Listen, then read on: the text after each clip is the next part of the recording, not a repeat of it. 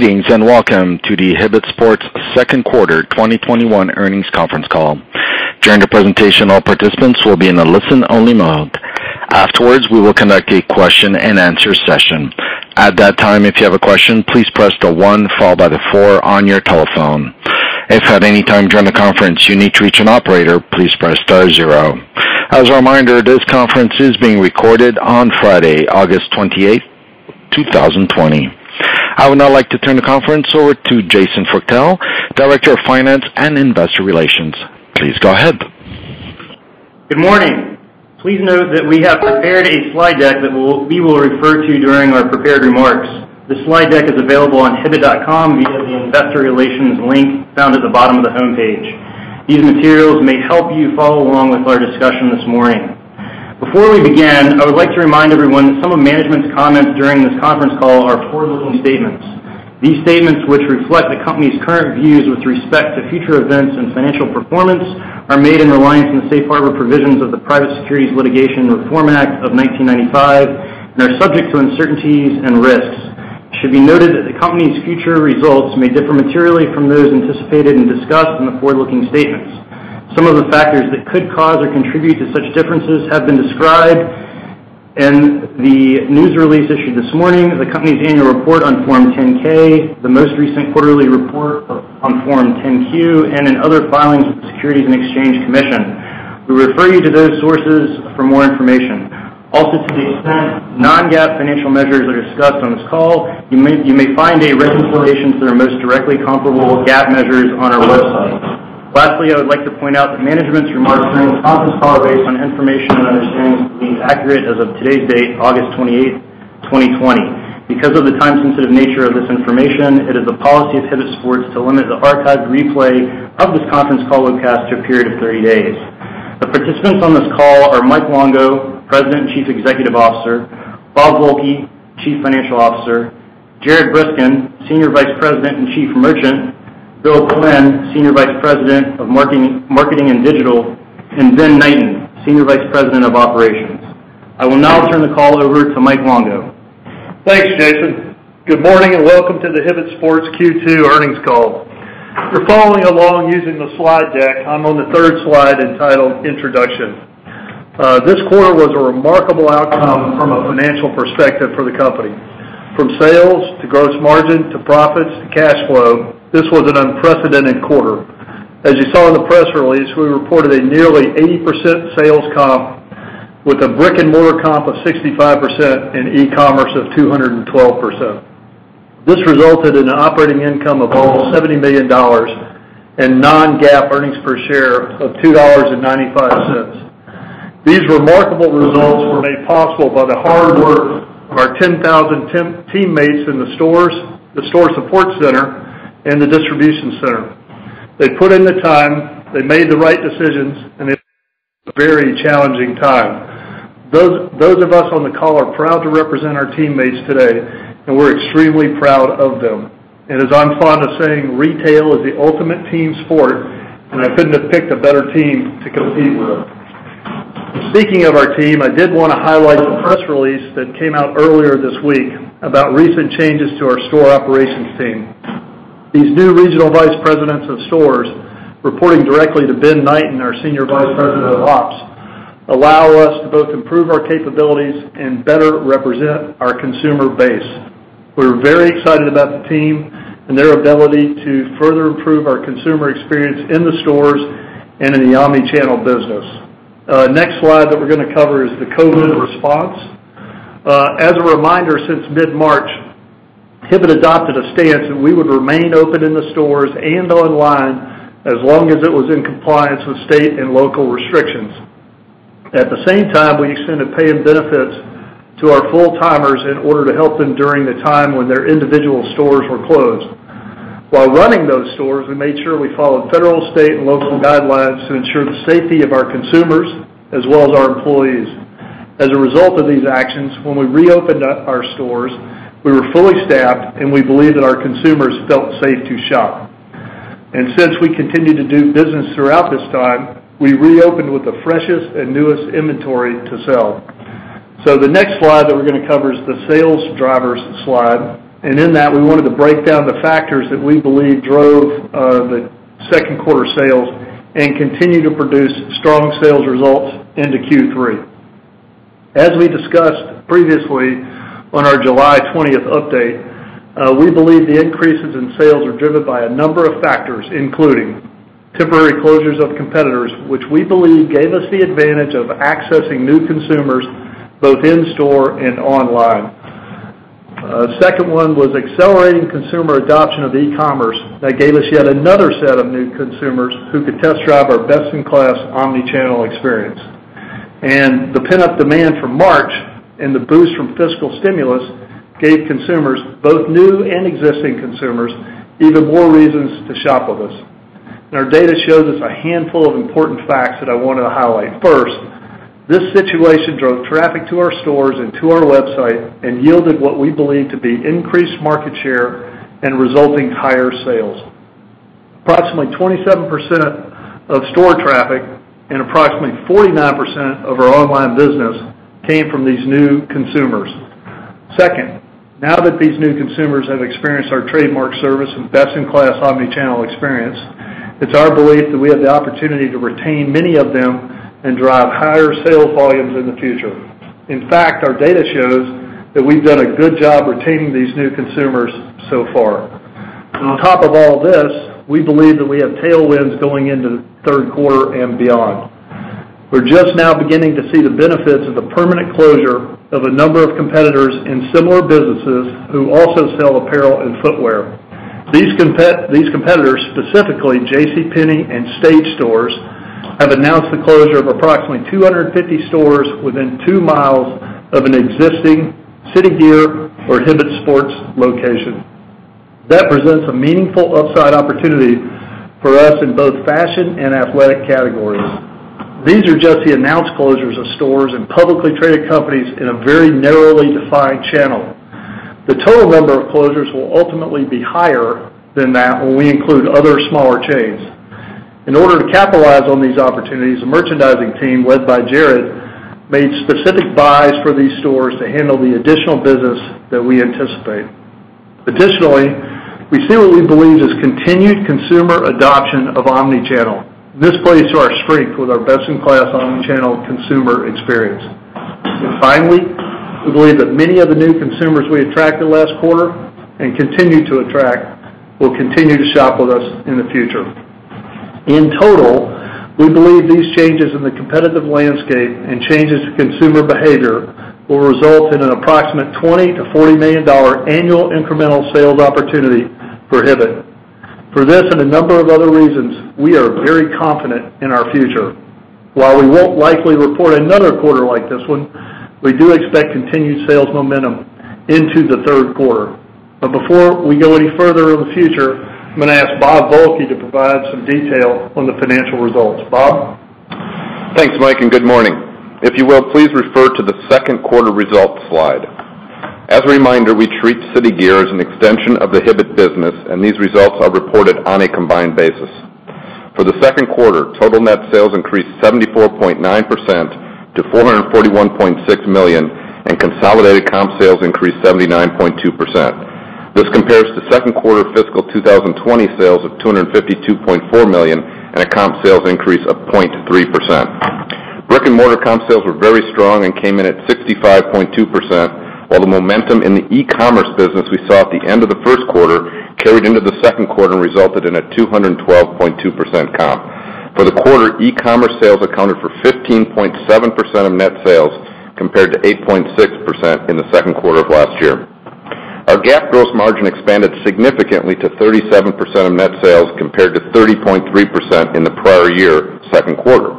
This approximate 670 basis point improvement was due to higher initial sell-through, a reduction of inventory reserves, and leverage of store occupancy costs that are included in our gross margin calculation. There is a slight offset due to the higher volume of e-commerce sales, which carry a slightly lower margin due to the incremental shipping costs associated with these sales. Excluding the reduction of inventory reserves in the current period, adjusted gross margin was 36.7% this year, compared to adjusted gross margin of 30.3% last year. Store operating, selling, and administrative expenses were 22.6% of net sales in the second quarter, compared to 31.8% in the second quarter of fiscal 2020. This decrease of approximately 920 basis points was primarily due to the leverage from the strong sales performance. Excluding certain expenses related to the COVID-19 pandemic and City Gear acquisition and integration expenses, adjusted SG&A was 19.3% of net sales, compared to adjusted SG&A of 28.5% in the prior year second quarter. The primary non-GAAP adjustment in the current quarter was an approximate $14.5 million increase in the liability for the year two earn-out related to the City Gear acquisition. This was driven by the strong 2Q results and the optimistic outlook for the remainder of the fiscal year. Let me remind you that we took an $11 million reduction in this liability in the first quarter based on the uncertain business outlook at that time. Depreciation and amortization declined approximately $200,000 due to store closures in fiscal 2020 as part of the company's strategic alignment plan, partially offset by the new capital expenditures over the last several months. On a GAAP basis, we generated $56.3 million of operating profit, which compares to last year's operating loss of $11.6 million. Excluding all non-GAAP adjustments for the quarter, adjusted operating income was $69.7 million, or 15.8% of sales, compared to an operating loss of 3.2 million in the second quarter of fiscal 2020. GAAP earnings per share were $2.38 for this year's second quarter, and non-GAAP earnings per share were $2.95. We generated 175 million of operating cash flow during the quarter and spent approximately $8.4 million in capital, most of which was related to new, relocated, and remodeled stores. In the prior year second quarter, operating cash flow was 2.1 million, and capital expenditures were 3.4 million. I'll now have you move forward to the year-to-date results page. On a year-to-date basis, sales have increased 19.4% to 711.4 million from 595.7 million over the first six months of the prior year. Comp sales on a year-to-date basis are 22.2%, with brick and mortar posting 8.9% and e-commerce coming in at 150.9%. On a year-to-date basis, e-commerce sales are 18.2% of our total net sales, compared to 8.4% for the first half of last year. Our GAAP gross margin was 33.4% of net sales, compared to 32.7% in the first six months of 2020, as the strong second quarter margin performance lifted the overall year-to-date results. Excluding year-to-date inventory reserve adjustments in the current year and City Gear acquisition costs in the prior year, adjusted gross margin was 33.9% this year, compared to 32.9% for the first half of last year. First half GAAP SG&A expenses were 26.6% of net sales, compared to 25.9% in the first six months of last year. This increase of approximately 70 basis points was primarily due to first quarter adjustments for non-cash intangible impairments attributable to the COVID-19 pandemic. Adjusted SG&A was 21% for the first six months of the current year, compared to 24.2% for the same period last year. On a GAAP basis, we produced 34.2 million of year-to-date operating profit, compared to last year's operating profit of 25.7 million. Excluding all non-GAAP adjustments in both years, adjusted operating income was 77.5 million this year, compared to operating profit of 36.8 million for the first half of last year. GAAP year-to-date earnings per share were $1.50 for the current year, compared to $1.05 in the prior fiscal year, and non-GAAP earnings per share were $3.30 this year, compared to $1.50 for the comparable period of fiscal 2020.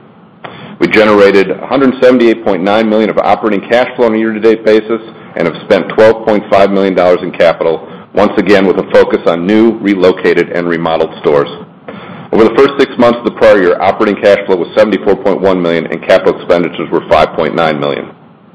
Turning to the balance sheet. We ended the quarter with 217.8 million in cash versus 97.8 million a year ago. We paid off all amounts outstanding under our secured credit line during the quarter and currently have no debt. We have 75 million of borrowing capacity available to us but do not anticipate the need to borrow under our secured credit line on current based on current cash projections. Inventory at the end of the quarter is 182 million, a 32.7% decline from last year's second fiscal quarter. The strong sales in both the brick-and-mortar and online channels drove the decrease. We did not purchase any shares during the second quarter under our authorized share repurchase plan. We have just over 143 million of remaining authorization through January 29th of 2022 for future share repurchases at management's discretion. I'll now turn the call over to Jared for a review of merchandising. Thanks, Bob. If you'll refer to the merchandising slide, our incredible comp performance was driven by apparel and footwear, with significant gains in sales and share of our mix. Team sports was impacted by COVID, was down in the mid-teens, and had a reduced share of our mix.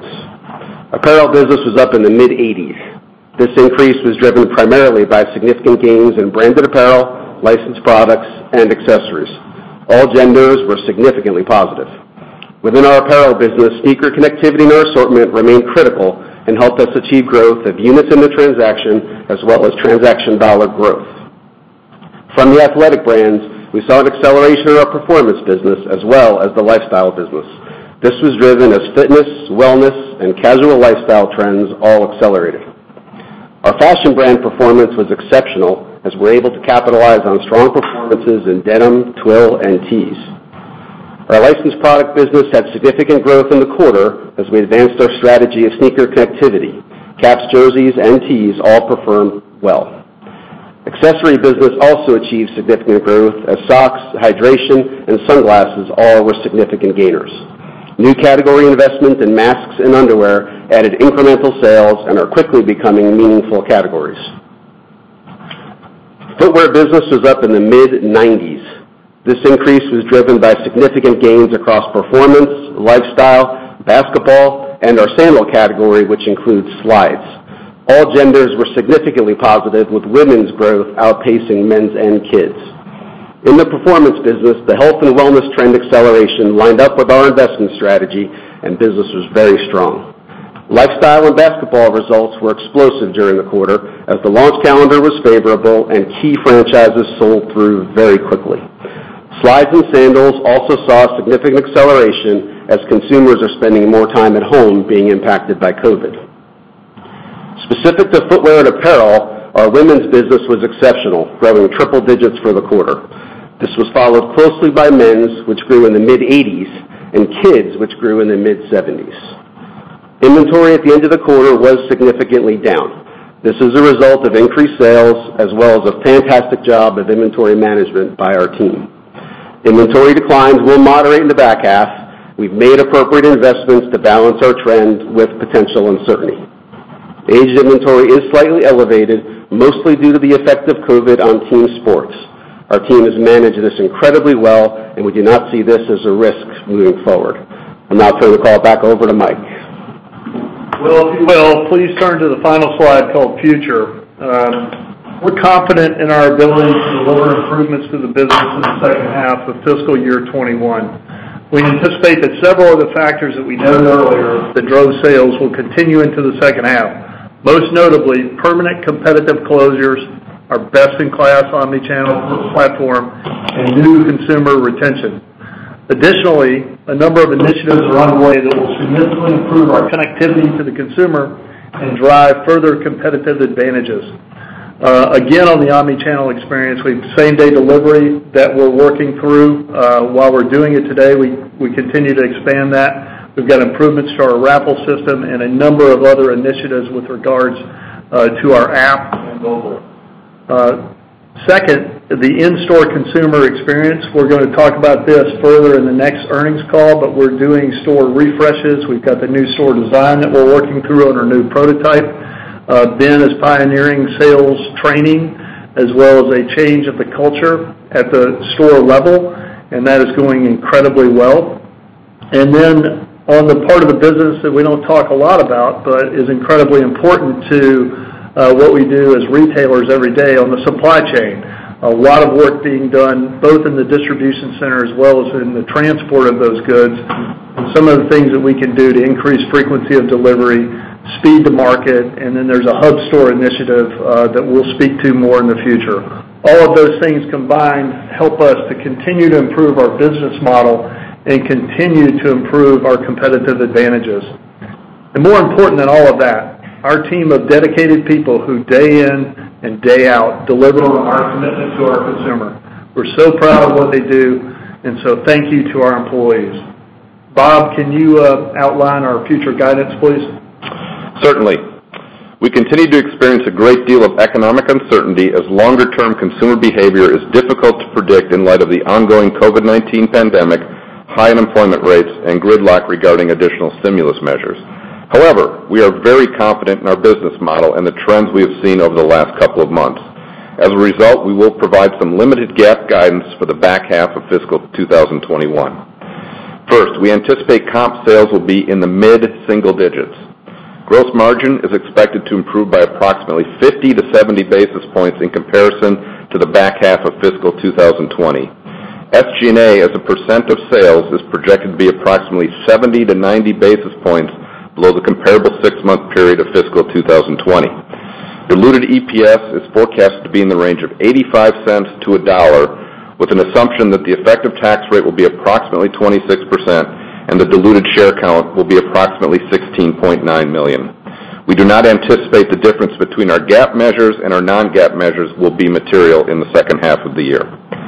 That concludes our prepared remarks. We have provided quite a bit of information for you to digest, and we know you will be Uh, needing additional questions answered. So operator, please open up the call for questions. Thank you. If you would like to register a question, please press the one followed by the four on your telephone.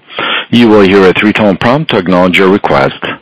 If your question has been answered and you would like to withdraw your registration, please press the one followed by the three. One moment, please, for the first question.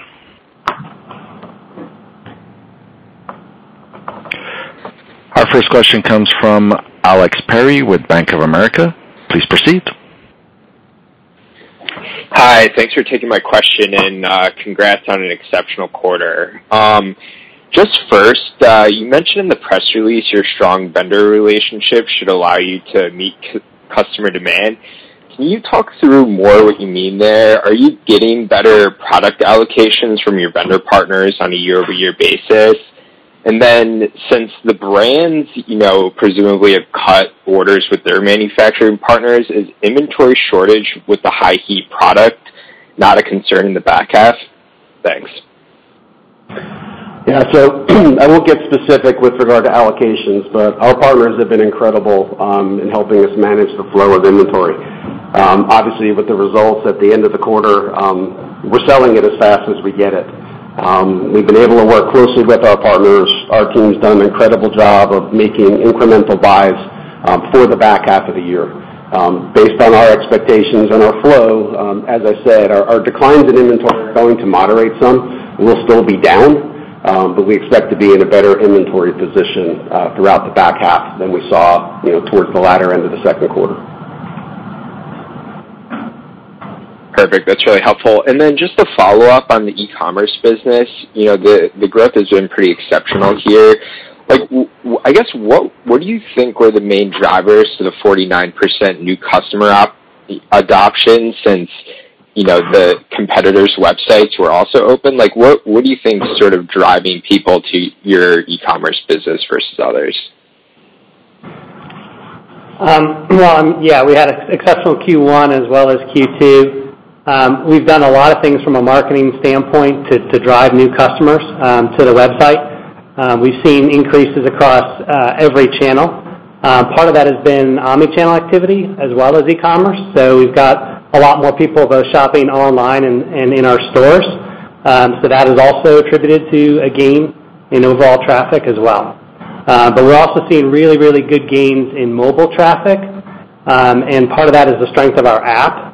You look at our launch calendar over Q2, it was very, very favorable.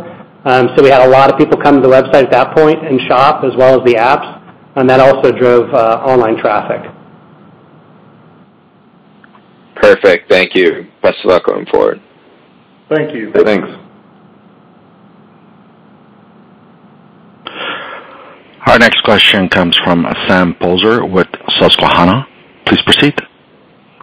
Uh, good morning, everybody. Thank you for taking my questions. And I have quite a few, despite the good information that you provided um, uh, in your release and in the uh, presentation. Good morning. Um, I guess, first of all, about the inventory.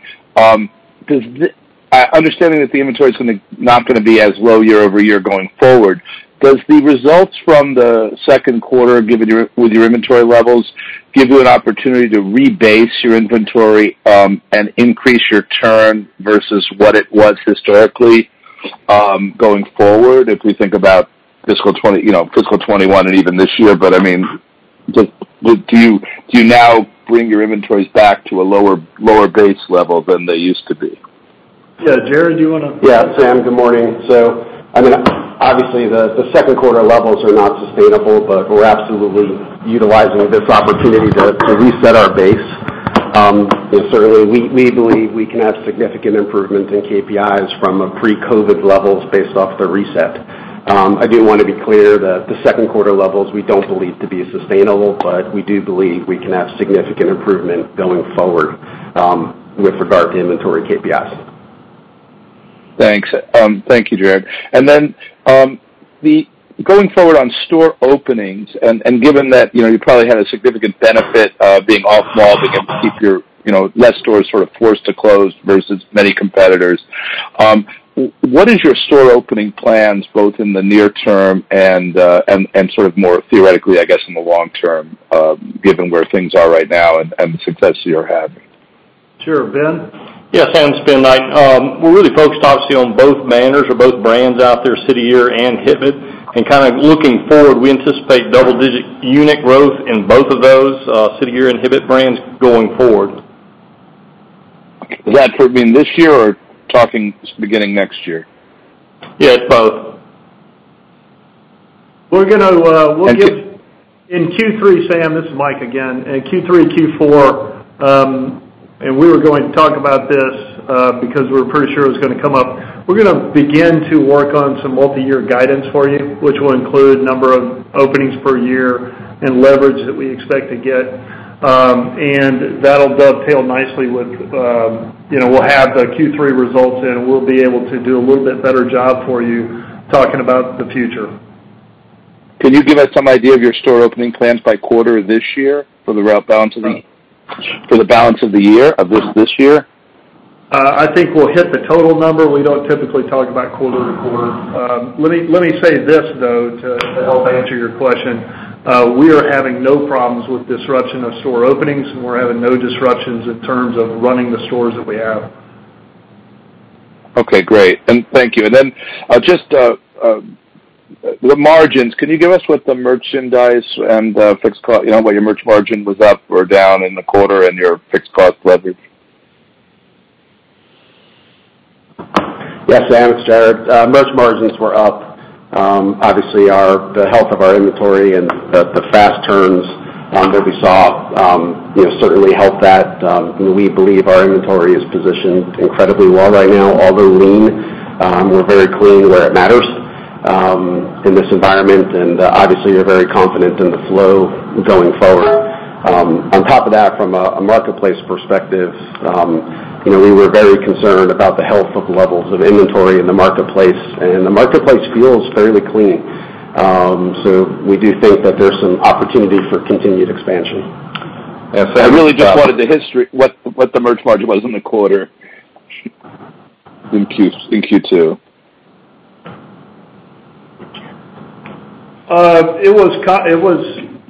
Well, we reported it in the earnings, right? So it's in the press release. Total, not merchandise. Yeah. Total margin.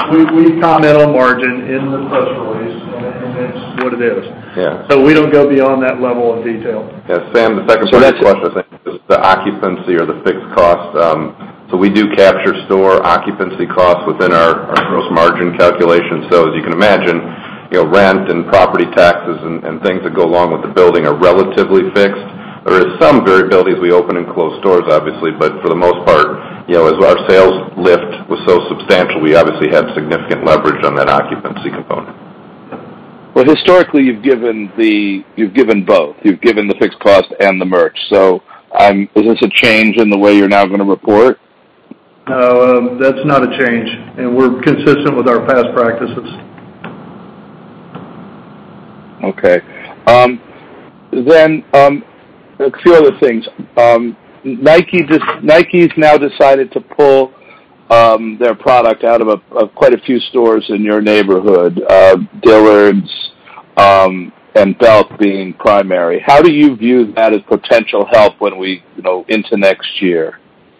I'll I'll start that off. This is Mike, and Jared will follow up. Uh, We uh, stated what we're comfortable stating because that's in the public domain. Uh, the commentary about stage stores and JCPenney, publicly traded companies have made public um, announcements, and those are facts. Um, we're not comfortable talking about other people's businesses. I mean, Jared? Yeah, I think, Sam, we'll obviously watch other competitor closures and any changes from a distribution perspective.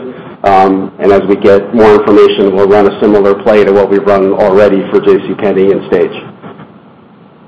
Okay, and then um, two more.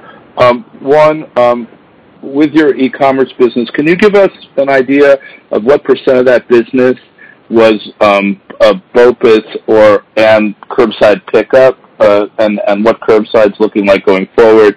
And then um, Jared, I just want to Uh, get you on the allocations one more time, especially in the fourth quarter when it comes to some of the big launch shoes. I mean, are are you are you are your allocations going to be in line with last year on on the key items in the fourth quarter?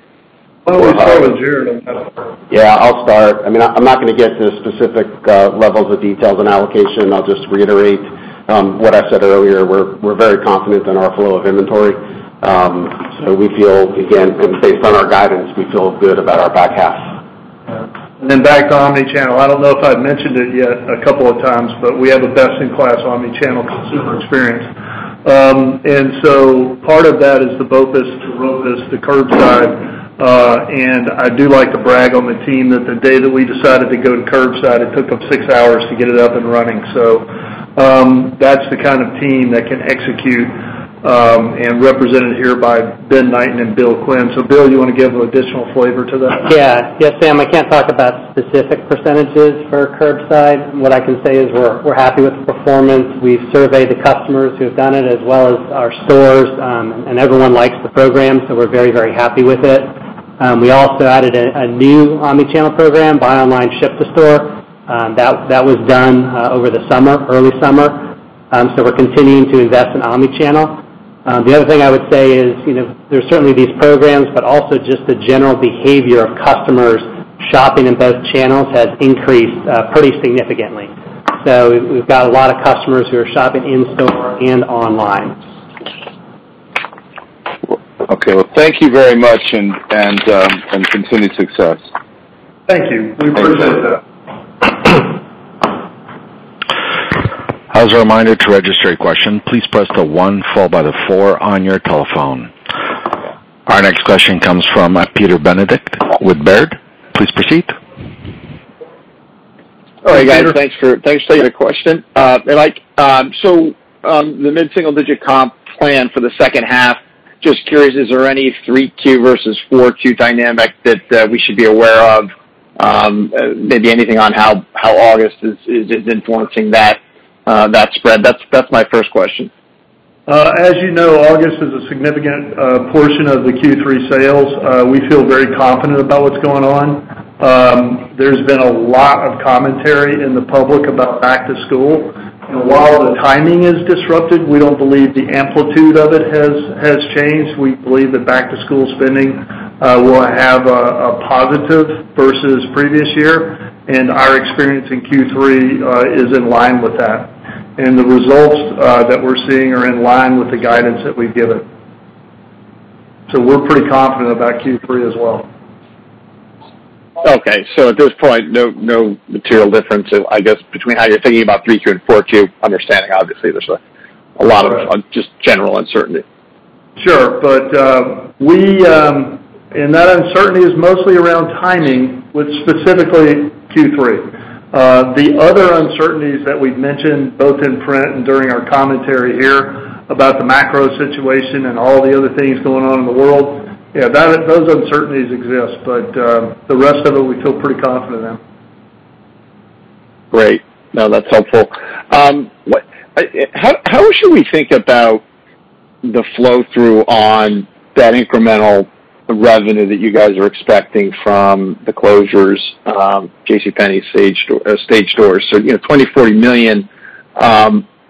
I guess, you know, as we kind of cut through the noise of the last, you know, of this year, how, you know, how are you thinking about flow-through margins and that type? Well, if you're talking about operating income, what we've typically seen in just all the retail I've ever been, Uh, and this one included, uh, approximately one-third of incremental revenue falls to the bottom line inside a relevant range. If we were talking about doubling revenue, that range doesn't hold. Uh but in this case, it's in the relevant range. So generally, about 30% of incremental revenue falls to the to the operating income line in most retailers. Okay, perfect. That's helpful. And then I guess the last question um, would be just the plans for allocating the excess cash. Uh, obviously, you're going to rebuild the inventory levels to some degree, but beyond that, um, what are the what are the priorities here? Do you have any buyback that's baked into the second half? Doesn't look like it, but just curious when you might turn that back on. Uh and just any thoughts on CapEx. I apologize if I missed uh, anything on CapEx. Thank you. Uh, We didn't give much guidance on that, so um, let me fill in some blanks here. Uh, as as you pointed out, we've got approximately $13 per share in cash on the balance sheet. That's substantial. Uh, we will use some of that, although not a tremendous amount, to replenish the inventory uh, as it comes in through Q3 inventory builds, which will then also take care of that metric on aged inventory percentage. Um, As that inventory builds, it will be somewhat of a use of cash. Um, then we're going to come back in Q3, Q4 and talk about our strategic um, alternatives on uses of cash. But we're not comfortable talking about it further than that. Um, Bob? Yeah. I mean, you know, the big thing, obviously, is share repurchase plan, which we've done historically. We did not do any of that in Q2 due to you know, the great amount of uncertainty. Uh, we are certainly considering and talking about our options as far as uh, doing some share repurchase. I think at the end of the day, obviously, we want to try to find the best use of our cash, uh, regardless of what that use is for. But we're going to keep looking for ways to beef up the business and bring more profitability to the bottom line.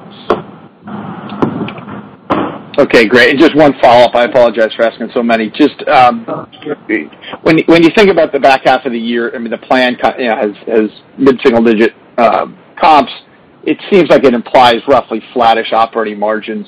Is that kind of how we should be thinking about the business you know, longer term? I know you're going to give us more information, but um, you know, given the the the the penetration of digital, et cetera, how the sales are coming through the door, that kind of a mid-single digit comp is something where you would be able to maintain uh, operating margins? We think that the operating margins go up from here. Uh so we're going to walk back through the guidance one more time, make sure that we're answering your question appropriately. So gross margin leverage is 50 to 70 basis points. SG&A leverage, 70 to 90 basis points. Uh, and then on top of that, we've got the mid-single digit comp, which should drive incremental margin on top of that on the operating income. And so as a result, earnings per share, and in here, you assume a flat share count. Uh, so. Slight increase. Yeah. So that's where we got to the $0.85 to $1. Yeah. So if you think about it, Peter, last year, I think we did, uh, on a GAAP basis, $0.47 in the second half of the year. And here we're talking about a range of $0.85 to $1. And it's not all related to share repurchases in prior periods. It is truly kind of a mix between that share count as well as some additional profitability. Yeah, I guess I was thinking about it on an adjusted basis. I understand the GAAP guidance. I was thinking more adjusted. We can walk through some of this offline. Uh, thanks so much, guys. Appreciate it. Thank you, Peter. Our next question comes from Jim Chartier with Monness, Crespi, Hardt. Please proceed. Good morning. Thanks for taking my questions. Uh, I just wanted to touch on the the store opening plan. Um, I think last year you closed 7% of your stores, and just want to understand you know, the rationale for now starting to return to double-digit growth. And within that, you know, where do you see the opportunity for new stores, uh, maybe from geographies that you aren't in, or is it more within existing geographies? We certainly did historically close some stores. They were poor performers, uh and they were closed when the lease came up um for renewal so that the company didn't have any extraordinary cost in closure, and the um the capital was reallocated. That historically was happening uh given the health of the current fleet of stores, plus the underlying changes to the competitive uh, landscape, plus the changes to our business model, which have been relatively substantial, uh, we really are very optimistic about the fleet of stores that we have today. Uh and that comes from a number of things, not the least of which is the improved selection of merchandise in the stores, the improved um, morale in the stores, as well as the sales training that's going on, and morale comes from winning. Um and it's as simple as that. People like to win, and when you win, they want to win some more. Winning feels in the store level, I hit my bonus target, and every day I go home, I feel like I won. So winning begets winning, and the sales training that's going on in the stores is helping that flywheel turn even faster. I don't know if I'd mentioned omni-channel uh, yet, but that is a substantial portion of our business, and we really like what's going on there. Right? Um, pure play e-commerce businesses have a problem. Pure play brick-and-mortar businesses have a problem. Good retail is omni-channel, where you have both, and you do them both very very well. And I will say Bill Quinn and uh, Ben Knighten and his teams are executing at a very high level with regards to the omni-channel business. So, as a result, we believe that there is a tremendous opportunity to turn back on the store net store growth. We will always have a handful of stores that are underperforming, because when you have a portfolio of stores, you're going to open some that aren't as good as others. Um, So we'll close a handful every year when the leases come up, and that's the appropriate way to do it. At the same time, we have a lot of white space opportunities. While we're not comfortable commenting on specifically where those stores go, uh, we'll be able to give further guidance in the future. We don't like to talk about uh, exactly where, simply from a competitive stance. Understood. And then just on the store refreshes, what percentage of your existing store base do you think you know, needs a refresh? How many refreshes do you think you'll do per year? Um, and then, you know, what's the cost of that, and you know, what kind of sales lift have you seen uh, from doing refreshes in the past? We're going to come back with some facts and figures and and where we're at in Q3. but um, We have an initiative underway to improve the look and feel of every store in the chain. We believe it is incredibly important. It's retail 101, one one store model, one look, one feel, one way of doing business. And uh that should we should be substantially done in Q3. Great. Thanks, and best of luck. Thank you. We appreciate the call and the questions. We have a follow-up question from Sam Poser with Susquehanna. Please proceed. Hey, Sam. Hi. Just for clarification, the double digit. Uh, when I asked the question regarding um, double-digit um, store growth, you mentioned double-digit store growth. Does that mean more than 10, or does that mean as a percent? Uh, everybody in the room shaking their head because they knew uh, I messed that up. It's unit growth, it's store growth, it's door growth. It is not percentage growth. Thank you. Thanks for the clarification. Okay. Um, Um, I was just wondering you know, if you can call out, um, uh, Jared, maybe some of the brands that are uh, performing or not uh, performing right now, or improvements you're seeing, or brands that you see slowing down. Any color you want to give us there? Yeah, I'm not going to get too detailed here, Sam, but I mean, overall, with the results that we've had, um, you know, business was really strong overall. Um, I would say you know, certain categories performed better than others, and that led to brand performance, um, both positive and negative. Um, you know, just a few that I will comment on. You know, certainly, business with Nike was exceptionally strong. Business with Jordan was exceptionally strong. Our business with Adidas was very strong. Um but overall, it was a really, really good result. Great. All right. Thanks again. There are no further questions at this time. Please continue with your presentation or closing remarks. Well, thank you, everyone. We really appreciate your time and attention during the call. We know that that was a lot of information. Uh, we appreciate the questions, we appreciate the feedback, and uh, we look forward to doing this again very, very soon. Thank you. That does conclude the conference call for today. We thank you for your participation and ask that you please disconnect your line. Have a great day, everyone.